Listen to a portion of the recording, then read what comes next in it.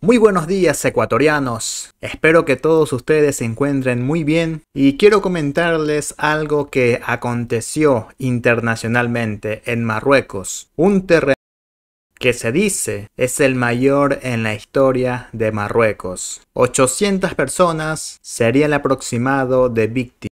Quiero ahora sí empezar con el tema de Luisa González. La candidata por la Revolución Ciudadana, Luisa González, como en pocas entrevistas, hace un análisis de las trampas de la derecha, de cómo es la estrategia de ellos para privatizar todo. Y este tema de la privatización le hace falta solamente un año, como era el culmine del presidente Guillermo Lazo, pero que va a estar solamente hasta diciembre. En los hospitales del Ecuador actualmente no hay ni siquiera una pastilla. Es un desorden total, no hay para hacer diálisis, las personas que se operan ahora sí debe ser un milagro contado, y hablo de cualquier operación. Y todo esto, según Luisa González, han sido estrategias. Bueno, yo también creo, porque la verdad es así. Han sido estrategias de la derecha para decir que lo público no sirve y que se debe privatizar todo. Este análisis y las mentiras también que se vienen promulgando pueden hacer que el Ecuador realmente crea que eso es lo mejor. Y con un gobierno como el de Novoa y Abad, que precisamente han tocado el tema de la privatización, en la salud principalmente y en la educación. Creo que es lo único que hace falta para que privaticen, tener tiempo, aires nuevos, canchas nuevas como serían Novoa y Abad en caso de llegar al gobierno y ahí sí privatización absoluta. Ya están privatizando ciertos medicamentos, pero ahora imaginemos que ocurra algo similar con los hospitales. ¿Y todo esto a qué conlleva? A más privatizaciones, seguramente seguros médicos,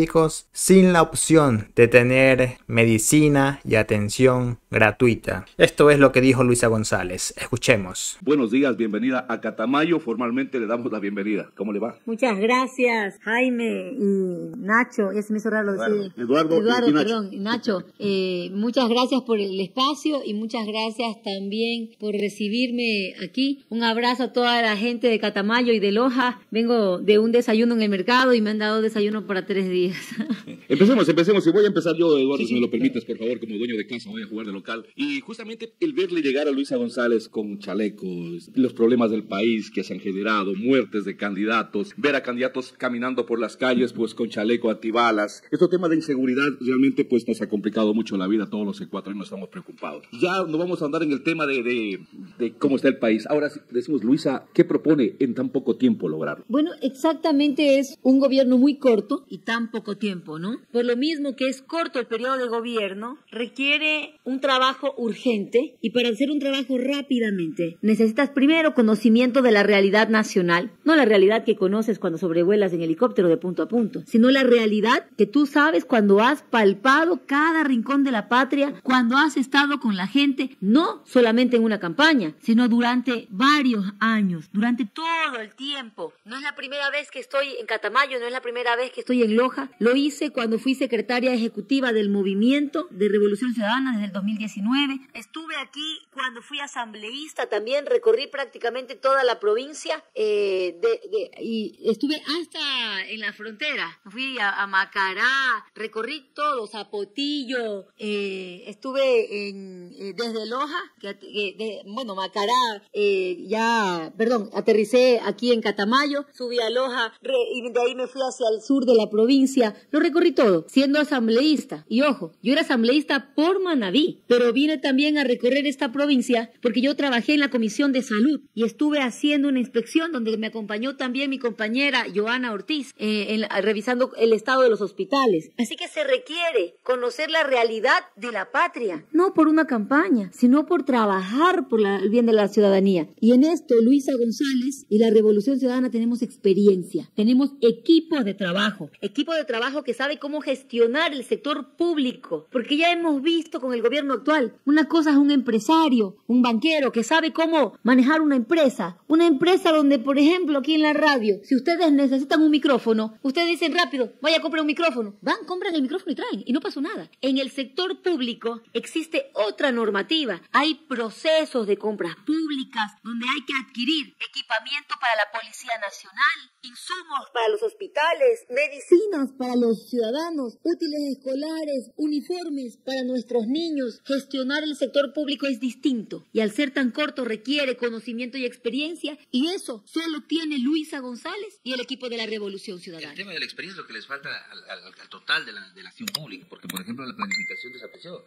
Les quitaron hasta las coordinaciones zonales. Pero no me quiero ir por el tema, yo quiero, no quiero salirme del tema de la seguridad. Vamos con seguridad. Porque nosotros, dejamos desde hace mucho tiempo de mirar por la televisión lo que pasaba en Quito y Guayaquil, que era donde veíamos el tema de las masacres, los asesinatos a diario. Eso pasa y es una cuestión ya cotidiana de los cantones. Nosotros tenemos cantones de 20.000, 30.000 habitantes. El mismo informe León de Troya dice que la mayor cantidad de droga, la mafia albanesa, entra por la frontera sur. Pero yo no creo que entre por Guayaquil, entra por los pasos irregulares que tiene la provincia de Loja. Usted que conoce la provincia de Loja, aquí vienen los policías, ganan 730 dólares, no tienen chaleco, tienen que obligatoriamente comprar su chaleco. Y si quieren una dotación de armas, tienen que comprar sus municiones. ¿Cómo solucionamos en el inmediato haciendo uso de esa experiencia esos problemas? Porque la gente lo que más reclama en este momento es seguridad, no hay paz. Vivimos una segunda pandemia, la gente está encerrada y le duele a la gente o no tiene la posibilidad de salir a trabajar, a buscar el pan del día para la gente. Ya, allí lo primero que va a hacer Luisa González, lo primero que voy a hacer es declarar la emergencia en todo lo que es la seguridad en el país. Y aclaro aquí, no estoy hablando de decreto de excepción, que es lo que ha declarado este gobierno. El decreto de excepción limita derechos humanos, derecho a la movilidad, a la circulación, a la asociación. Lo que yo estoy diciendo es un decreto de emergencia para entrar de manera emergente a atender el sector de seguridad. Voy a invertir 500 millones de dólares en fortalecer a la fuerza pública. Como usted dice, no tienen chalecos, no tienen armamento, no tienen municiones, no tienen vehículos, no tienen motos, dejaron desprotegida a la fuerza pública. Ni dónde dormir. Mendigando qué comer, pidiéndole a las alcaldías, a las prefecturas, a las empresas privadas, por favor, vean, no sea malito de dando de comer. Un policía que no tiene ni siquiera la seguridad para sí mismo, ¿usted cree que puede salir a combatir a la delincuencia que sí tiene vehículos, que tiene motos, que tiene armamento de corto y largo alcance? Imposible. Entonces vamos a empezar por fortalecer la fuerza pública, dándole el equipamiento necesario. Lo siguiente, sistemas de inteligencia, que además dejaron deteriorar los equipamientos que existían, que no están utilizándolos. Vamos a volver a hacer esa adquisición de los equipos que no estén dañados, pero que, estén dañados, pero sobre todo tecnología de punta para poder investigar esas redes del delito, de las bandas delictivas, dónde están operando, que además eso se conoce para que interferir, intervenir en esas zonas. Lo siguiente, crimen organizado. Usted decía la mafia albanesa. Eso no se combate solamente a la interna. Para eso se requiere coordinación internacional, pues trabajaremos con todos los, países que nos corresponda. Ya hemos hecho acercamientos con eh, Colombia para poder trabajar en conjunto con el presidente Petro y controlar la frontera, la zona del Putumayo, que es donde está saliendo la producción de cocaína, que luego va al puerto de Guayaquil y que va hacia Europa y 60% de la droga que llega a Europa lo hace saliendo desde Guayaquil. Ya me reuní con los embajadores de la Unión Europea para pedir ese trabajo en conjunto. Tengo pendiente reunirme también con autoridades de Estados Unidos para seguir fortaleciendo el trabajo en conjunto de todo lo que es control a las bandas delictivas y crimen organizado. Pero solo para terminar, ¿qué vamos a hacer con la cúpula policial y militar y el sistema judicial? Ese es otro punto que también eh, voy a intervenir. Mire, nosotros teníamos las pruebas de confianza, donde aplicábamos el polígrafo, además. Lamentablemente, estamos en una situación en el que el crimen organizado ha infiltrado al gobierno nacional es lo que se refleja en el informe León de Troya, donde los vínculos, el círculo cercano del presidente Guillermo Lazo tiene vínculos con la mafia albanesa y también han infiltrado a la fuerza pública. El embajador de Estados Unidos hizo una declaración pública en la que él decía que hay narcogenerales y por eso hay una denuncia puesta en la Fiscalía General del Estado para que se investigue esos narcogenerales. Lamentablemente la señora fiscal, que no le corre prisa, a menos que haya algún correísta en algún tema, pero tiene detenida esa investigación, no avanza. He insistido públicamente, en todas las entrevistas lo hago, un llamado a la fiscal Diana Salazar para que mueva ese caso, para que se apure porque nos están matando, para que así, como ella es tan rápida para atender otros temas de persecución política. Tome conciencia, nos están matando a los ecuatorianos y eso pasa también porque hay en las filas de la Policía Nacional y, la fuerza, y las Fuerzas Armadas malos elementos que hay que depurar. Sin, eh, sin lugar a dudas estamos en una terapia intensiva en este tema. En el interior de las cárceles también las bandas se están matando. Tienen mejor armamento que la policía en el interior de las... ¿Qué se va a hacer en el tema también penitenciario? Pero mire, en el tema penitenciario, ¿a quién le corresponde el control de las cárceles? Al señor Guillermo Lazo. Él es el que tiene el control de las cárceles a través de la SNAI. Él es el que nombra al director de la SNAI. ¿Por qué no hace nada con sus autoridades? ¿Por qué tapa la corrupción de sus autoridades, de los miembros de su gobierno? Porque es mismo pues Guillermo Lazo ha permitido que la delincuencia y el crimen organizado controlen las cárceles. Yo he ingresado a cárceles, a la de la Tacunga. Usted no puede ingresar con zapatos, con cordones. Usted no puede ingresar con aretes, con una cadena. Dígame cómo ingresa armamento de corto y largo alcance, cómo ingresa droga, cómo ingresan celulares. ¿Cuál será la medida, eh, Luisa? ¿Cuál será la medida? Retomaré el control de las cárceles. Había un buen control y sistemas de inteligencia también. El había control, inhibidores de señal, había los filtros, los escáneres Scanner para ver qué está ingresando. Pero no los están aplicando, no los usan. Según reporte no los dejaron dañar. Pues. Y ojo, es la policía la que tiene el control de las cárceles. Cambiaron el modelo de manejo de las cárceles. Antes, ¿sabe quién controlaba las cárceles? Una mujer, la señora Lady Zúñiga, una mujer. E ingresaba y en las cárceles había orden. Los presos recibían cursos de capacitación, estudiaban en línea, había política de rehabilitación social. Hoy día, adentro son escuelas del crimen. entonces crear nuevamente el Ministerio de Justicia, el Ministerio Coordinador de Derechos Humanos. Crearé el Ministerio de,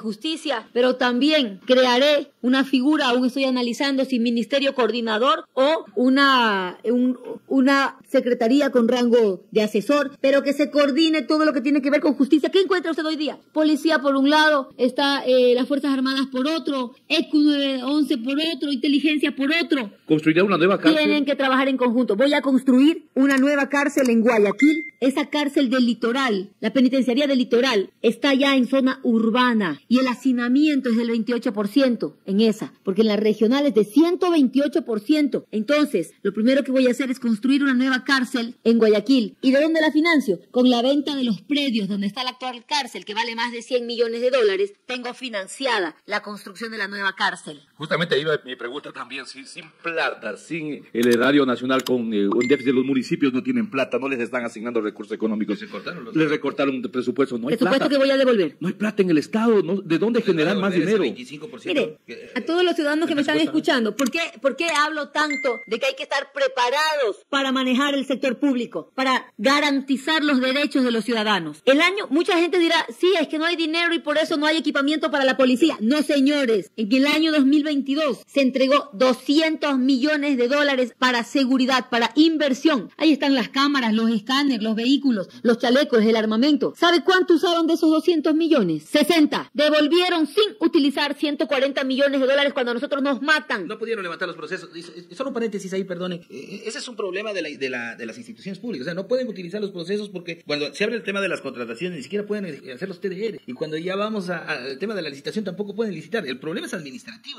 Porque, ¿qué es lo que estamos viendo? ¿A quién puso, pues, de autoridades el señor Guillermo Lazo? A sus compañeros y amigos. ¿Qué eran? Banqueros. Gerentes del Banco de Guayaquil. ¿Qué fueron a hacer? Negocio. Zapata no era, no era por el estilo. Bueno, Zapata ya fue el último que puso, pero qué conocimiento y experiencia tiene. Sí, está en este gobierno. Pero ¿cuándo Zapata ha demostrado que sabe cómo manejar el sector público? Perdón, un señor que se ha vendido con un, eh, como conocedor del sector público, como conocedor food de la gestión pública, pero que nadie ha comprobado que realmente sepa cómo gestionarlo. Y ha demostrado que no sabe manejar el sector público. ¿Y a quiénes puso antes? El señor eh, Guillermo Lazo. Asambleístas, amigos de él y gerentes del Banco de Guayaquil. Estamos con eh, la candidata a la presidencia de la República, Luisa González, en Radio una cosa. La policía tenía 17 millones de dólares para invertir en seguridad. 17 millones. Algo podían haber comprado, ¿no? Algo mismo. ¿Sabe eh, cuánto usaron? Cero. Pero muy poquito, pues. Cero usaron. La coordinación zonal del Ministerio de Salud pública tiene 18 millones en loja y no hacen nada. Vamos con Pero el tema fíjate que ni siquiera eso pudieron. Luisa, vamos con el tema, el tema salud. No hay una pastilla en hospitales, no hay en el mismo seguro. La dignidad de los, de los lojanos, yo le hablo por los lojanos, nos, nos ha pasado. No tenemos ningún insumo dentro de los hospitales. Y miren, ayer a un, a un, a un amigo nuestro acá de Catamayo, que tenía que operarse de urgencia, le dijeron que para octubre del otro año le daban eh, la cita para el turno para seguro, operar. el seguro. El seguro. Pero, el seguro. yo quiero que todos los ciudadanos que me están escuchando se queden con esto que les voy a decir y me presten atención. Nos crean un problema para vendernos la solución. Su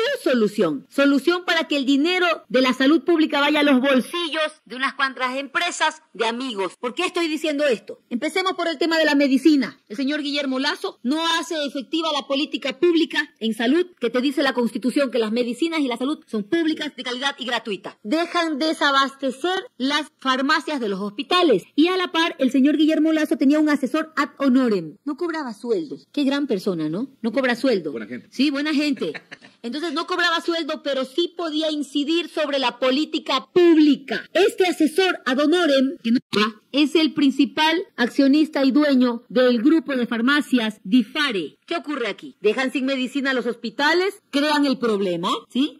Y al crearnos el problema, ¿qué decimos los usuarios del sistema de salud pública? Porque yo también soy usuaria del sistema de salud pública. medicina y es... Hagan lo que sea, pero denme la medicina. medicina. Eso decimos nosotros, ¿no? Claro. Entonces ellos vienen y dicen, te tengo la solución. Toma la medicina. Vamos a privatizar las farmacias. Mira tú, crearon el problema y nos venden la solución. ¿Saben cuál es el grupo que más se benefi- benefició de la privatización de las farmacias? El grupo Difare, de la asesora Donoren, del presidente Guillermo Lazo. Crearon el problema y nos venden la solución. Los hospitales. Pero solo, se- perdón, solo se quedaron en el tema del pilotaje, porque ese tema de distribución de medicinas Sí, no ha llegado a Catamayo, no llegó a. Cayamanga, no, ha llegado a, no ha llegado a la Y provincia. en eso trabajé muy fuerte desde la Asamblea, en el proceso de fiscalización, denunciando esto, denunciando que era un negocio el dejarnos sin medicinas y ya no les más. Quiero saltar a otro tema, pero to- Pero tomando este mismo de la- los hospitales también. ¿Ya? Los hospitales. Vamos a ver. Miren la estrategia genial que se les ocurre. Hasta el año 2021 despidieron cerca de 6.000 personas del sistema de salud pública, médicos, enfermeras, técnicos. Despiden, es decir, nos dejan sin médicos. En- y los médicos en el desempleo. Entonces mañana usted y yo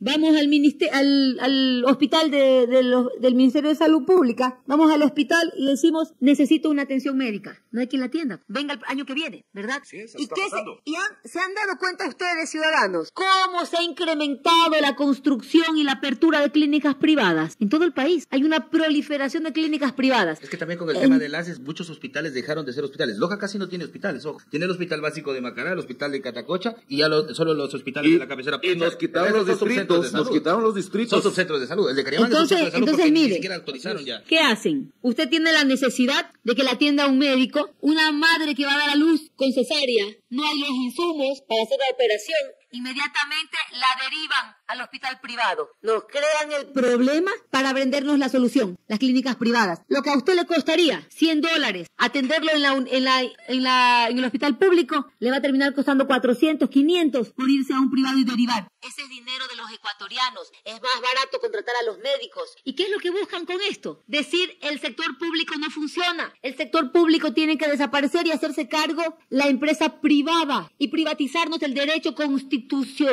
a la salud. Y lo mismo hacen con educación. Nos destrozan todo para vendernos su solución que va al No bolsillo a ver al de tema de la sus educación. amigos. Quería decirle algo que todo tiene que ver con la gestión. Eh, voy a ser infidente, voy a decir una ex funcionaria, pero si le digo la actual, la saca. Me reuní con, la- con la ex coordinadora nacional de, de salud de su despacho hace algunos meses. Y me dijo, Eduardo, tenemos 18 millones de dólares para invertir en salud. El problema es que nadie quiere administrar los contratos. No, no los podemos gastar. No nos podemos gastar la plata. Y eso tiene que ver con la gestión. Y ya, ya topábamos el tema de los municipios, los recortes presupuestarios. Pero ¿cómo le vamos a entregar plata a los municipios si hoy, por ejemplo, no se cumplen los procesos que están establecidos dentro de la planificación? Los planes de desarrollo y ordenamiento territorial son secundarios, ya no es lo principal. El tema de auscultar la necesidad, la participación ciudadana, los presupuestos participativos casi no existen. Es decir, todo no, no está ligado, no existe un plan nacional ¿no? de, que, que implique o que sea rejetado, por ejemplo, como lo hacía la Secretaría de Planificación. ¿Cómo solucionamos ese pequeño gran problema que también genera hambre, miseria, destrucción, descomposición? Mire, nos- eh, lamentablemente se rompió todo lo que es la planificación. En las instituciones públicas hay dos problemas. Uno, Uno, que es el desconocimiento de cómo funciona el sector público, y el otro es que la gente vio la persecución brutal que nos hicieron de forma injusta a la revolución ciudadana por haber hecho los contratos, la adquisición, las carreteras, los hospitales, los centros de salud, las universidades. Y mucha gente tiene miedo de firmar. Crearon un fantasma que es la corrupción. Crearon un fantasma, pero ahora no dicen nada de la corrupción de ellos, ¿no? Hay silencio en los grandes medios hegemónicos. Hay silencio con varios, eh, varias áreas, incluso lo mismo del informe León de Troya de los vínculos de la mafia con el presidente Guillermo Lazo, que es lo más grave que nos tiene sumidos en esta delincuencia. Pero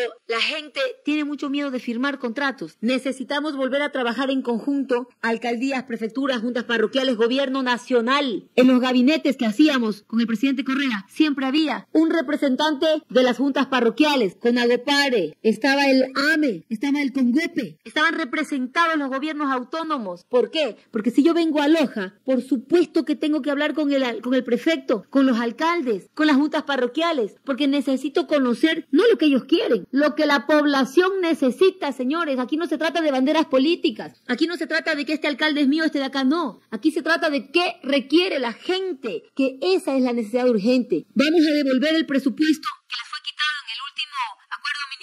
a los gobiernos autónomos. En cuanto salió ese eh, acuerdo, dije públicamente que vamos a devolver ese presupuesto, pero además vamos a hacer un acuerdo de devolución del IVA programado ¿sí? ¿Cuánto vamos a poder ir devolviendo? ¿En qué plazo? Sentarnos eh, con las autoridades e ir planificando, porque cuando yo devuelvo ese dinero, ese dinero es para las obras que requieren en la localidad y además con el verde vamos a aumentar el cupo de endeudamiento para que puedan atender obras prioritariamente agua potable y alcantarillado. Los parques pueden esperar. Vamos a ir por lo urgente. Y estas cantonales también pueden esperar, ¿no? Por favor, vamos por lo urgente, que es la vida de la gente. El acceso a agua es salud, es desnutrición infantil, es urgente. Y lo más cercano, mi, estimada Luisa, aquí son los distritos, lo que nos quitaron a Catamayo. A Catamayo nos quedaron un distrito y pese a haber hecho marchas, eh, haberse acercado a la, a la zonal de, de, salud, jamás, jamás se hizo caso, se los quitó el distrito. Ahora intentan devolvernos, pero hasta el día de hoy no se devuelve. Con esto se perdió muchísimo en Catamayo. No tenemos medicamentos ni siquiera para las personas que sufren de la presión en la ciudad de Catamayo. No hay ambulancias. En eso vamos a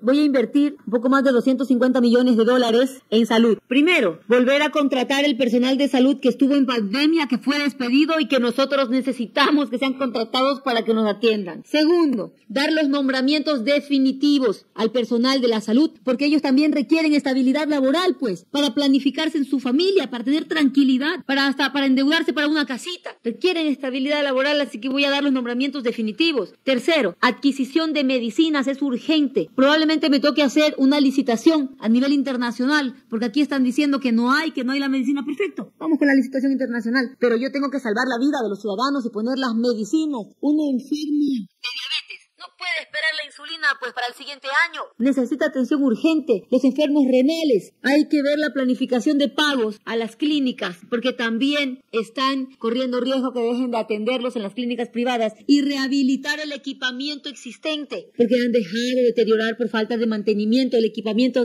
existente, comprar los nuevos. Vamos primero por rehabilitar lo que tenemos y después iremos hacia la planificación de los nuevos hospitales y centros de salud que requiere la patria. Eso es urgente en el tema de salud y yo siempre les digo, miren, no puede morirse un ser amado en nuestros brazos por pobre. En Ecuador no podemos permitir que un ciudadano se muera en la puerta de un hospital por no tener para una receta. A mí no me hablen de gasto público, a mí no me hablen de déficit y de deuda, que la deuda la tenemos con nuestros hermanos, que se están muriendo para no tener para una receta. Un ser humano no puede morir por pobre en las puertas de un hospital. Pero todavía tenemos reservas internacionales, recién se han de allí 500 millones de dólares. Eso es lo que queremos saber, porque no lo están hablando. Si no, no va a haber plata para todo. Dicen, al parecer, que esos 1.500 millones lo han inyectado en comprar deuda de la cartera vencida de la banca. Esos son los riesgos que corremos cuando es un empresario el que está al frente del país, porque ese dinero no ha servido para la vida de los ciudadanos. Yo he dicho claramente que voy a traer un tramo de esa reserva internacional, que ojo, a los que me estén escuchando, históricamente, en promedio, la reserva internacional nunca ha pasado de 4 mil millones de dólares. Existía cerca de 9 mil. De lo que sabemos, ahorita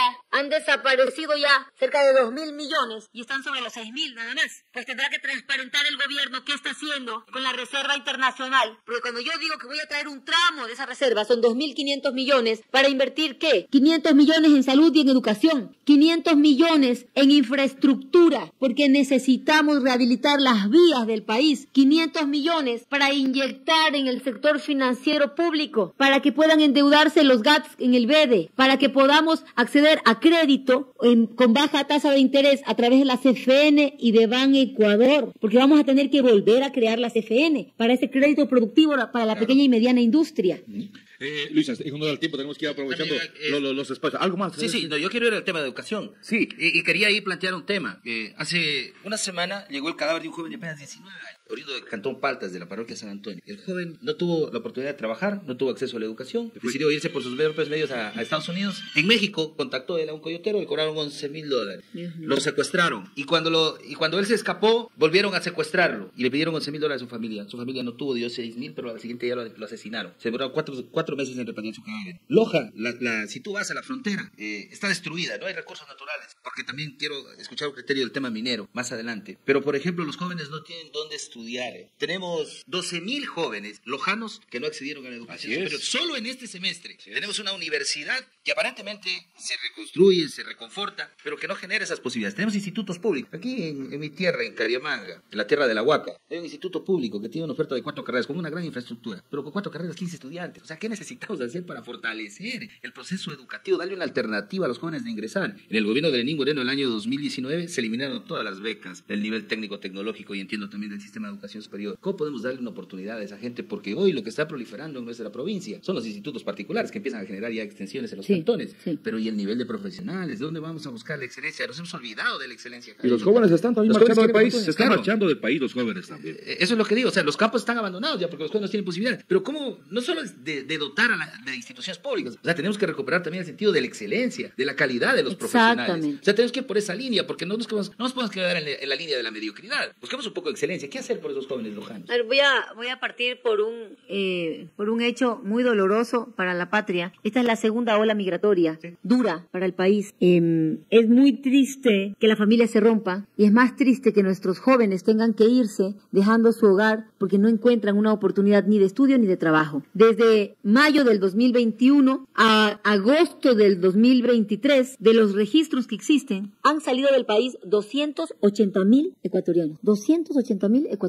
Pero no migran porque quieren, no migran en buenas condiciones, migran como este joven que usted me relata. Migran siendo abusados, violados, niños, en condiciones terribles. Y los que se quedan aquí también, se quedan con una familia rota sin el abrazo de una madre, de un padre. Y endeudados. Y endeudados. No migran porque quieren, no salen porque quieren, son desplazados, expulsados de su patria, de su patria, de su hogar. Y eso debe partirnos el alma. ¿Cómo solucionarlo? Votando por Luisa González, por la revolución ciudadana, porque somos los únicos que sabemos crear condiciones dignas para la patria, a nuestros jóvenes. Primero, desde la educación básica. Y antes de eso, los centros de desarrollo infantil que los han cerrado. Ya he dicho, los vamos a abrir. Esos centros de desarrollo infantil que en su momento fueron los IBBs, fueron creados para familias de pobreza y extrema pobreza, para que no dejen sus hijos encerrados. ¿Ustedes se acuerdan cómo era antes? Sí, sí. Los padres salían a trabajar y dejaban con candado a los niños en la casa. Con discapacidad. Y, y, luego hubo varios incendios, murieron niños. Los padres los habían dejado encerrados, no tenían con quién dejarlos. Hicimos los IBBs. Los están cerrando hoy. Los voy a volver a abrir con condiciones dignas. Ahí les dan desayuno, refrigerio, almuerzo, refrigerio, educadoras, estimulación temprana. Los niños con discapacidad. También, para, ya, ya voy por allí, para que desarrollen sus capacidades cognitivas e insertarlos en la educación inicial. En la educación inicial, los padres tienen dos, tres, cuatro hijos. No pueden pagar pues para el arreglo de la escuela, más los útiles, porque ni siquiera hay empleo. Señores,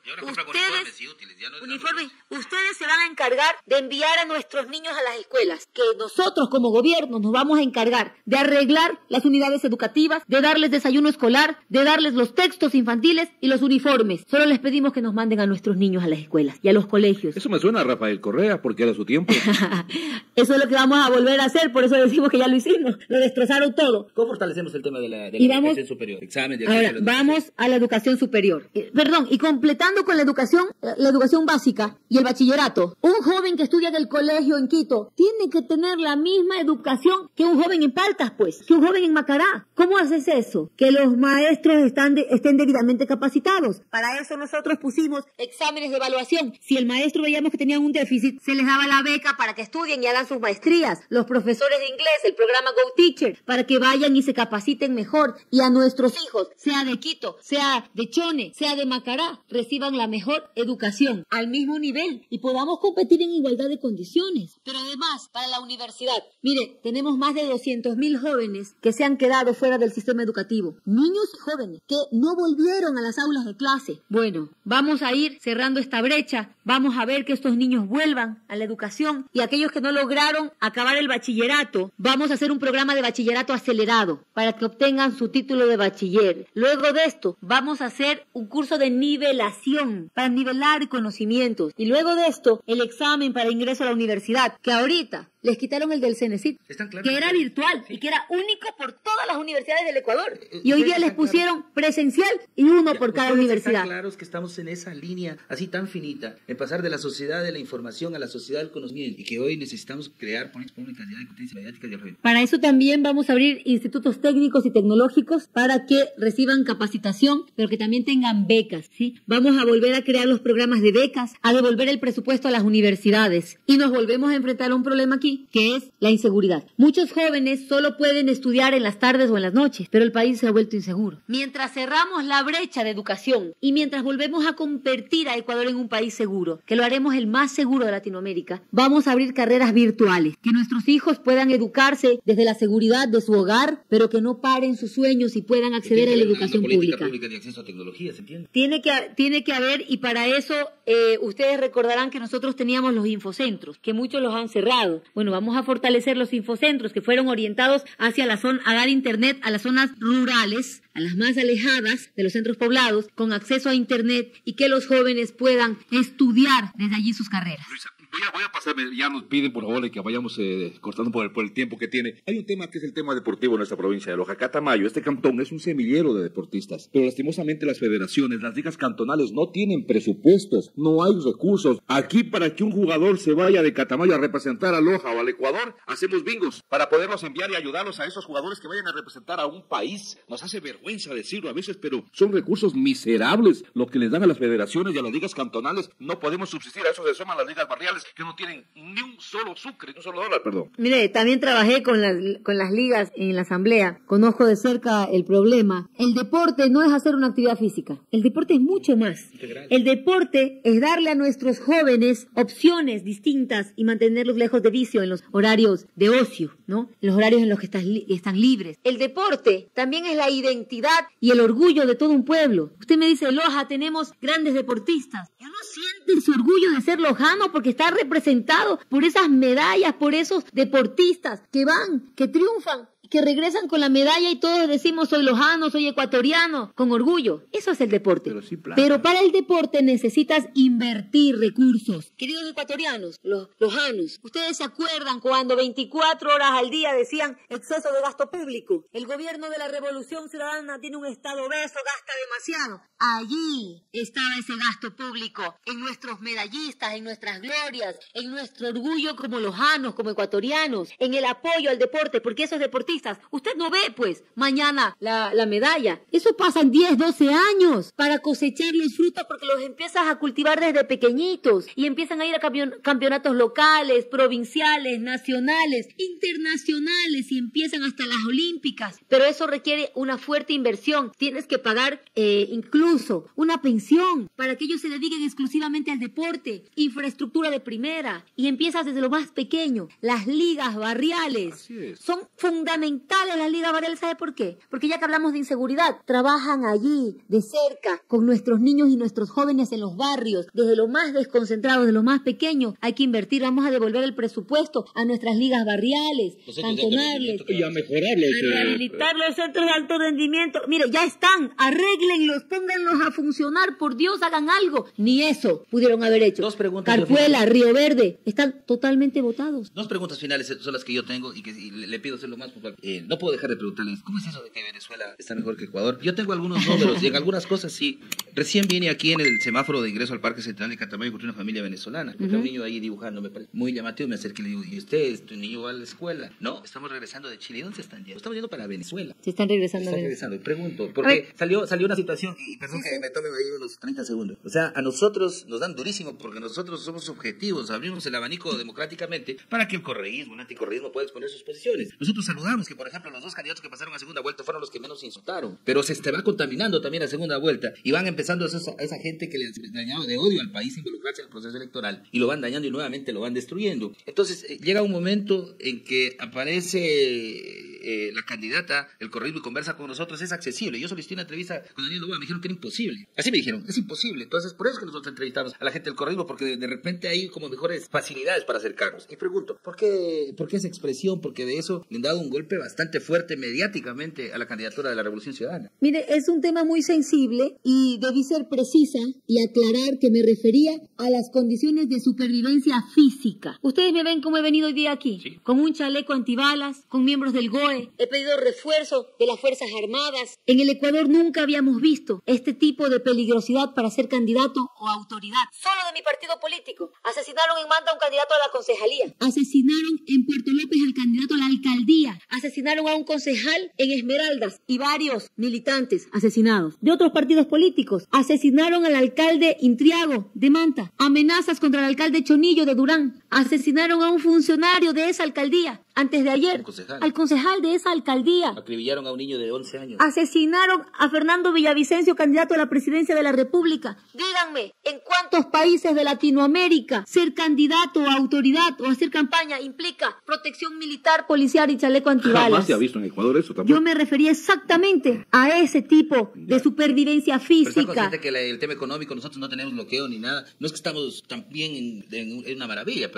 Venezuela no está... Ahora mire usted, la declaración yo la hice desde la provincia del Oro, desde la ciudad de Machala. Machala, 47 muertes violentas por cada 100.000 habitantes. Guayaquil, 51 muertes violentas por cada 100.000 habitantes. Esmeraldas, 171.5 muertes violentas por cada 100.000 habitantes. Nosotros convertimos a Ecuador en un país seguro. 5 muertes violentas por cada 100.000 habitantes. Y Luisa González hará de Ecuador el país más seguro de Latinoamérica. Luisa, y que- antes de terminar, eh, quiero... Se me ya- queda una- la última, se Sí, me sí, quedó. no pero déjeme, me- déjeme porque si no... Solo, solo permítame, permítame esto. De hecho, yo debí aclarar que yo me refería a la supervivencia física, pero es el periodista que, además de interrumpirme y no dejarme hablar, hace la pregunta sobre Venezuela. Y yo respondo, y debí aclarar que era la supervivencia física, pero al parecer él ya iba direccionado a hacer ese tipo de preguntas. ¿Había una mala intención entonces en eso? Por supuesto, para de ahí empezar una ola de ataques, de difamación contra Luisa González. Parece que eso es la agenda, porque no tienen nada que sacarnos y se han tomado de allí para atacar a Luisa Aprovechando que González. está Joanita también por acá en, en- en la radio, eh, Luisa, hay un, hay un tema que queremos que sí nos cumpla, si es que gana, lógicamente, la presidencia. La ampliación de la ruta Catamayo-Loja, Sí. que ya dije que la vamos a ampliar a cuatro carriles. Esa es nuestra petición desde Radio Ya que ya la Positiva. sé. Sí, sí. ¿Y Es que por se metió en el subconsciente, es.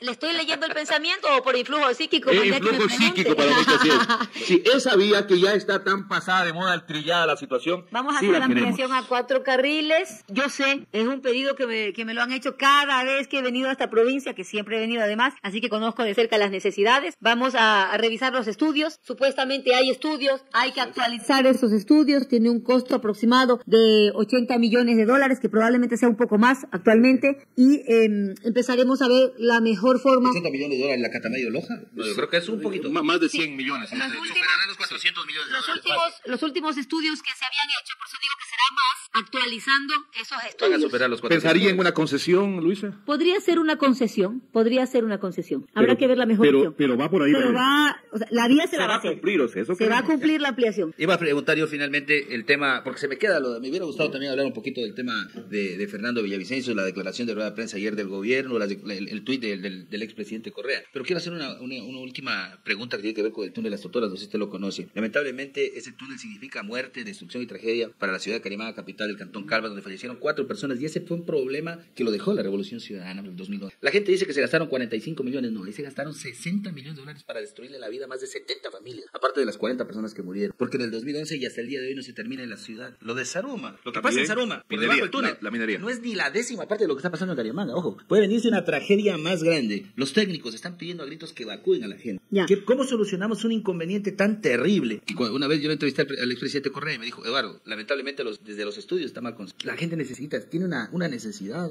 eh, de poder recuperar su ciudad, una de las ciudades más importantes de esta provincia.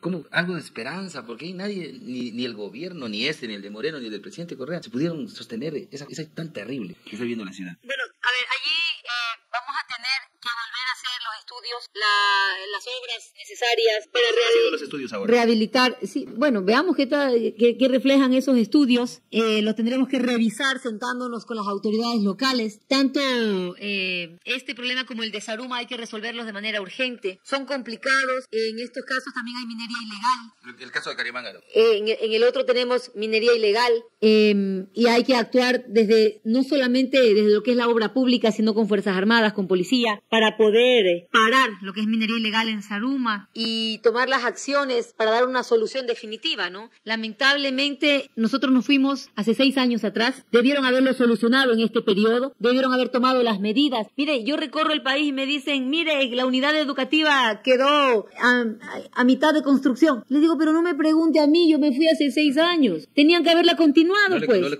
no le comentaron jamás esa problemática. Entonces, hay problemas en, en varias ciudades, en varios rincones del país, que debieron haber sido atendidos de manera urgente por los anteriores gobiernos, pero no lo hicieron. Y hoy día nos encontramos con un país al que tenemos que vuelta, nuevamente, levantarlo desde Es cero. que la gente le favorece con el voto popular, Y- tiene que ser una de sus primeras gestiones. Ahí corre la vida Lo- de, de- lo de- haremos, de- lo de haremos. cientos de personas que están corriendo peligro. Estaremos allí de forma presencial. Iré directamente allí a estar con la, con la ciudadanía y con las autoridades para dar solución inmediata a este problema. Luisa, yo quiero agradecerle. Quiero, bueno, soñamos mucho en que se vuelva a reconstruir la patria, sí es cierto. Eh, Catamayo agradece en tiempos del economista Rafael Correa la carretera a San Pedro de la Bandita, a la costa, hacia Zamora. Eh, aquí tenemos un hermoso coliseo en esos tiempos. Tenemos una bonita empresa pública de rastro también aquí en la ciudad de Catamayo. Todas las vías de acceso a la ciudad de Catamayo fueron asfaltadas. Queremos que vuelva esa historia a, a- a reconstruirse en Catamayo. Y ahí- desde ahí, pues desde Rafael Correa hasta la presente, no se ha construido una sola obra más. Les han quitado, se han, de- se han quedado sin Más bien nos mantenimiento. quitaron hospitales y todos los eh,